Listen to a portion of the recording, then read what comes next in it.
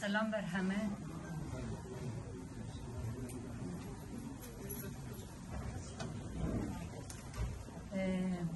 من می‌تونم اینجوری شروع کنم که نه میبخشیم و نه فراموش, فراموش می‌کنیم. گرچه همه مخالف اعدام هستیم. خیلی تشکر می‌کنم از همه در کاران این نمایش رو. ممنون از زحماتی که کشیدی. ولی من جزو خانواده ادامی های دهه شست هستم. بر همه مردم ایران سخت گذشت و همون همونطوری که اون دوست عزیز مطرح کرد خانواده نیست در دست جنایتکاران جمهوری اسلامی نباشه. ولی به جرأت میگم کردستان ایران خیلی بیشتر از بقیه نقاط یعنی زخم جنایت های جمهوری اسلامی رو در به خود گرفت بعد از انقلاب موقعی که انقلاب شد 57 در فاطره 57 تا 28 مرداد که خمینی فرمان جهاد به کردستان داد کردستان کردستان آزاد دموکرات سکولار بعد تمام احزاب و تشکلات تونستن تشکلات خودشون داشته باشن. در همون کردستان بود که به جرأت می‌تونم بگم 99 درصد از مردم کردستان به جمهوری اسلامی گفتن نه.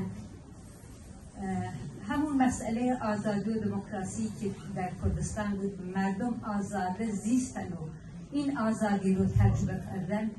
جمهوری اسلامی واقعا به و فرمان جهادی که خمینی داد این آزادی رو یعنی جبران کرد برای من خودم خانوادم در 28 مرداد 1358 غاز برادرم همراه 11 نفر از بهترین فرزندان شهر ملیمان دستگیر شدن.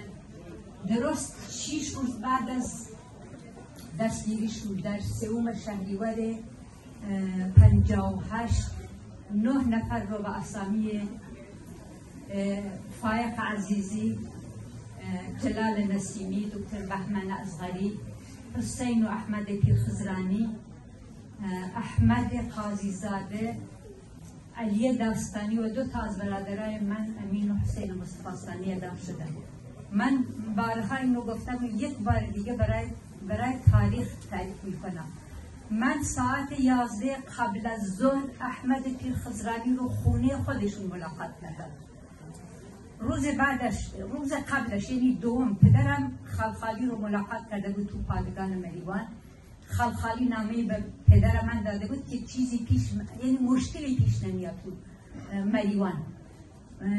موقعی پدرم از پادگان برگشت به من گفت این نامه رو تکثیر کن و ببر.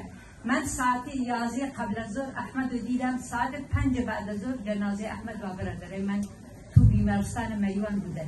یعنی فقط می‌خوام ابعاد وحشیگری و درندگی این رژیم رو تصور کنید مثلا ساعت یازده قبل از ساعت یک بعد از ظهر احمد قاضی زاده رو جلو پادگان مریوان دیدم. این گفت ماشین رو توقیف کردن اومدم که ماشین ما آزاد کنن.